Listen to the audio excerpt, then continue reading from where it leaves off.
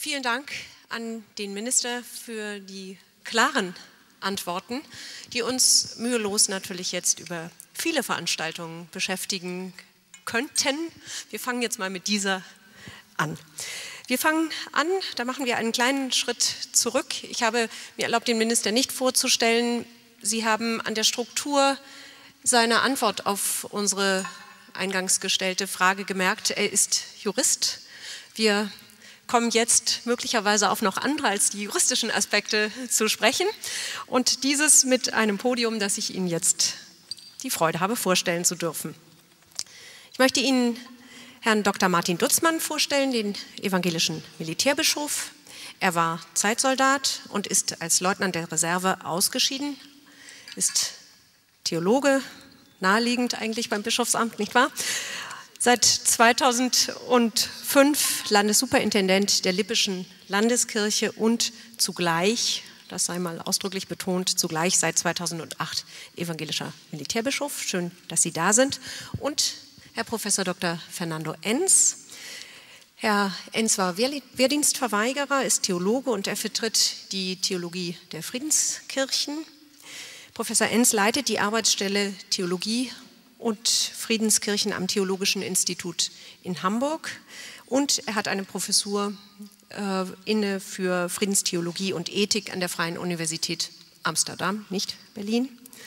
Ähm, und außerdem ist er stellvertretender Vorsitzender der Arbeitsgemeinschaft der Mennonitischen Gemeinden und er ist Mitglied im Zentralausschuss des Ökumenischen Rates der Kirchen und letzter Punkt, Mitinitiator der Dekade zur Überwindung von Gewalt.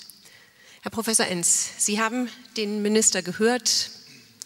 Sie können vermutlich nicht alles unterschreiben und ohne dass wir jetzt schon um die einzelnen Punkte uns mühen, möchte ich Sie doch um eine erste Einschätzung des Gehörten bitten. Beantwortet der Minister Ihre Frage, unsere Frage auf eine Ihnen möglicherweise gemäße äh, Weise?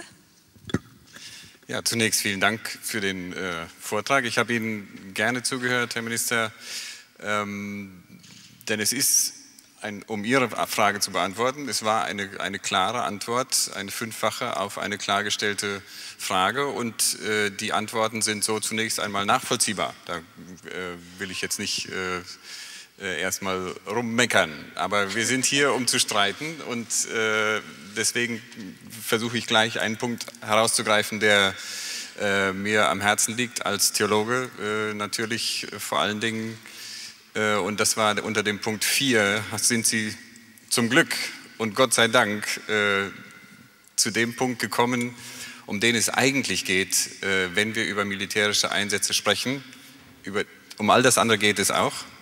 Aber die eigentliche Frage, die sich dabei immer stellt, und es war meine große Sorge beim Zuhören, wird das kommen oder nicht, was kostet uns das eigentlich? Und dabei rede ich nicht von den, von den äh, finanziellen Kosten, äh, sondern ich rede davon, sind wir bereit, und das ist die erste Frage, die sich mir stellt, bei grundsätzlich bei allen militärischen Einsätzen, sind wir bereit, billigend in Kauf zu nehmen, dass dabei Menschen von uns, sage ich jetzt im Kollektiv, getötet werden? Und sind wir bereit, selber den Tod in Kauf zu nehmen? Das sind die entscheidenden Fragen, die sich da, oder das ist die entscheidende Frage, die sich überhaupt bei militärischen Einsätzen für mich stellt, neben den juristischen und den politischen. Und diese Frage ist bei den anderen Punkten, die Sie genannt haben, immer schon als mit grundsätzlich Ja beantwortet vorausgesetzt. Und das würde ich so zunächst einmal äh, noch in Frage stellen wollen, welche, welche Situationen es denn überhaupt geben kann, wo wir dieses allerhöchste Gut, das uns überhaupt zur Verfügung steht, äh, so in die Waagschale werfen. Herr Dutzmann, bleiben wir gleich bei dem vom Minister unter Punkt 4 genannten Kernpunkt tatsächlich der von Herrn Ernst eben nochmal zusammengefassten Frage, sind wir, dürfen wir bereit sein, möglicherweise auch das Leben von Soldaten aufs Spiel zu setzen oder dürfen wir auch bereit sein, Feinde in Anführungsstrichen, allein diese Definition müssten wir vielleicht nochmal führen, aber äh, zu töten. Also dürfen wir Leben nehmen? Ich glaube, möglicherweise müssen wir es. Äh, allerdings immer mit dem, nicht nur mit dem Risiko, sondern mit der Gewissheit dabei schuldig zu werden. Also ähm, wir haben ja mal eine Diskussion gehabt, in der Sie, ähm, Herr Minister, gesagt haben, es gibt einen, zwar keinen gerechten Krieg, aber einen gerechtfertigten Gewaltgebrauch. Dem würde ich widersprechen.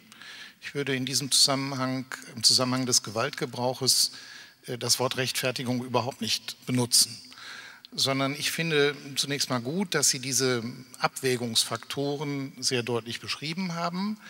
Aber letztendlich äh, hilft ja kein noch so sorgfältiges Abwägen dagegen, sich schuldig zu machen. Das heißt, Sie werden unterm Strich, aber wahrscheinlich haben Sie es so auch nicht gemeint, nicht etwa eine Rechtfertigung herstellen können. Das ist mir nur ganz wichtig, auch in der Terminologie, dass Gewaltgebrauch immer nicht nur ein Risiko ist, sondern letztendlich immer in Schuld mündet. Aber das wissen Soldaten auch. Aber wie, Herr Minister, lässt sich mit einer Schuld äh, umgehen? Sowohl politisch natürlich, also die Schuld, die diejenigen auf sich laden, die Soldaten in Einsatz schicken, wie auch schließlich im ja, militärischen Alltag im Einsatzgebiet. Ich will zunächst Herrn Enz sagen, äh, ich respektiere die Position, die Sie andeuten, aber ich teile sie nicht. Wir leben hier in Berlin in einem inzwischen ungeteilten Berlin. Ähm, die Amerikaner, die Briten, Frankreich, teilweise besetzt, die Sowjetunion haben einen Krieg gegen das von Hitler geführte Deutschland geführt, um einen Verbrecher das Handwerk zu legen, weiteres Morden zu beenden und dabei billigend in Kauf genommen, dass eigene amerikanische Soldaten zu Tode kommen. Das war eine großartige Leistung, eine große Entscheidung, die im Endergebnis für uns Deutsche sehr gut war. Und die Alternative wäre gewesen, dass sie gesagt hätten, wir opfern keine amerikanischen Soldaten für eine Diktatur in Europa. Ähm, wir, es ist also nicht nur die Frage, ob wir billigend in Kauf nehmen, dass unsere Soldaten gefährdet werden sondern es ist genauso die Frage, was passiert, wenn man nicht eingreift mit Menschenleben anderswo. Und ähm, da kann man sagen, was geht uns Ruanda an? Was geht uns Srebrenica an? Was geht uns alles gar nichts an? Aber ich glaube, so können wir nicht argumentieren. Und deswegen äh, das Bundesverfassungsgericht, um es nochmal juristisch zu sagen, lehnt wegen der Menschenwürde in einer bestimmten Konstellation Abwägung Leben gegen Leben ab. Aber das sind Abwägungen Leben gegen Leben und diese gehören zu den schwersten, die man in der Politik treffen kann.